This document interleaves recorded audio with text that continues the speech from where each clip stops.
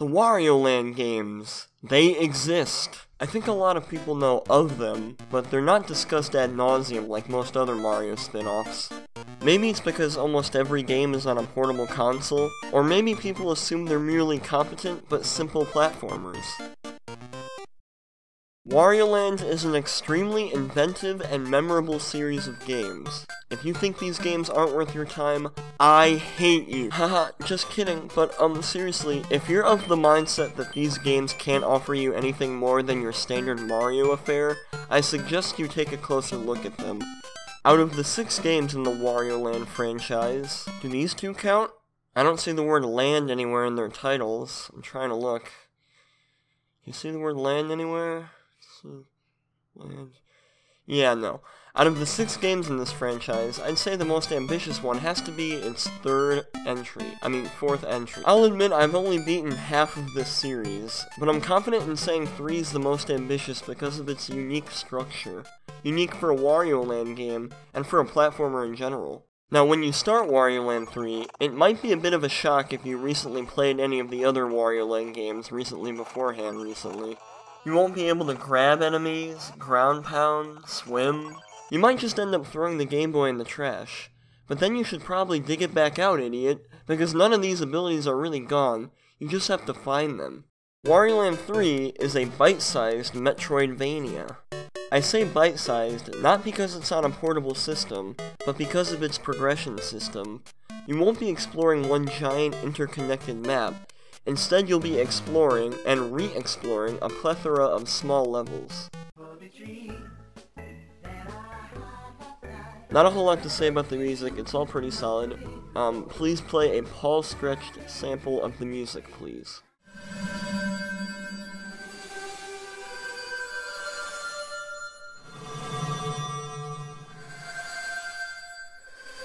Yeah, there you go. See? Art-wise, it's pretty great too.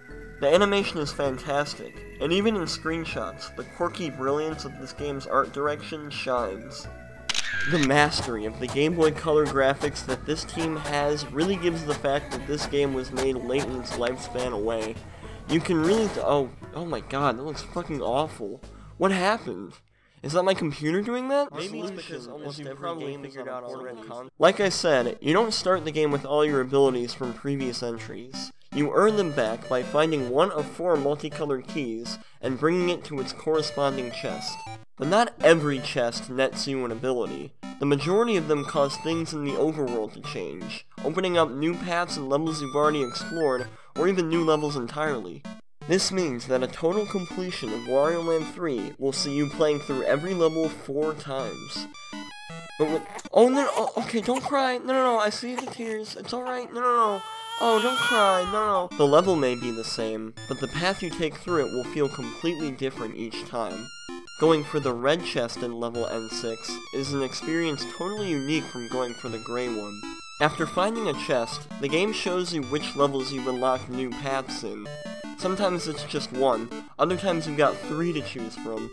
Like I said, it's a bite-sized Metroidvania. You get a short burst of exploration, then the game entices you into finding just one more chest. It's super easy to pick up and put down when you need to, but it's also quite addicting. This approach also trims backtracking into a much less arduous process.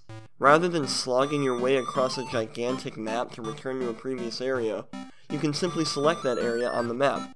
And since each area is fairly small, finding new paths within them is never difficult. Alright, okay though.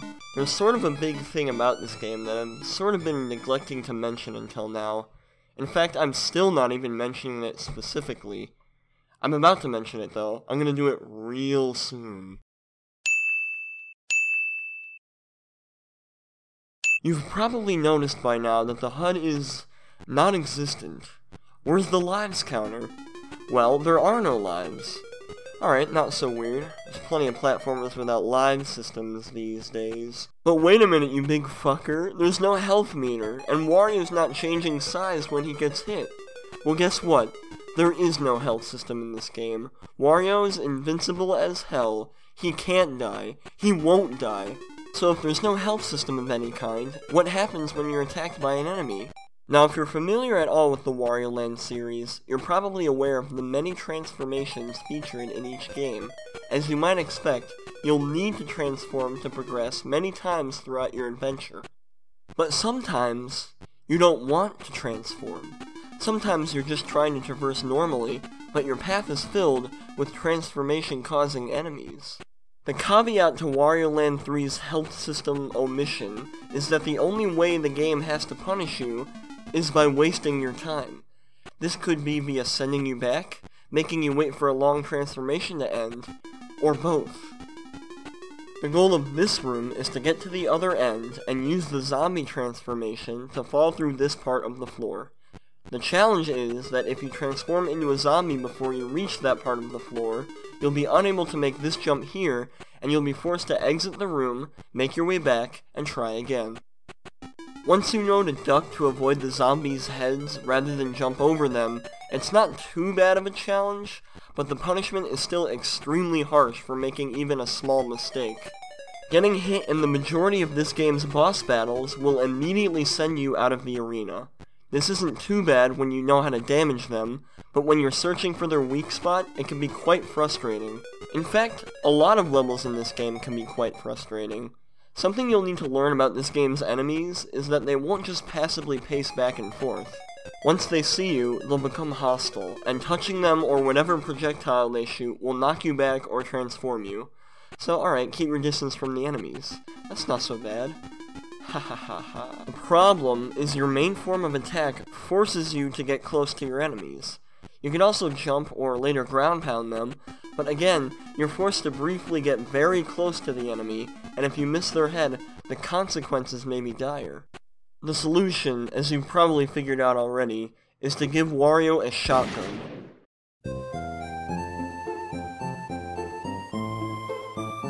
Without all this knockback bullfuckery, Wario Land 3 would be a brightly shining pearl in a sea of Game Boy Color games. Ahoy, sailors! Did you enjoy that sea metaphor? Leave a like in the comments if you did. Arrgh! It's by no means bad as is, but the experience is certainly marred by all those times you want to pull out your hair because you have to climb all the way back up because this fucking bear froze me again. And while there's certainly a lot of levels that won't cause you to grit your teeth, there's enough that will that makes me really wish the game had stuck with a traditional health system of some kind. Making an action puzzle platformer without a fail state is a very interesting design challenge, but that doesn't make it any less making me angrier. I wrote that phrase, I recorded myself saying it, and now I'm editing it into the video. Ultimately, I think Wario Land 3 is still definitely worth playing despite its spots of frustration. The transformation puzzles are clever, the art is strange and delightful, and it's good. It's good. But it could have been great. That's it. End the video. Thank you for watching this video. If you enjoyed it, consider liking it on YouTube, because that actually does help me get seen uh, easier. Um, I want to thank everyone who commented on all my other videos, some nice words. Um, it actually does very much mean a lot to me. Uh, I appreciate every single one of them, so thank you very much. Um, I'm gonna try my best to upload a little more consistently, but uh, no promises, because I don't really have anywhere to record when I'm away at my school. Uh, yeah, so... Thanks again for watching. Um, I'll end with a joke. Uh, Wario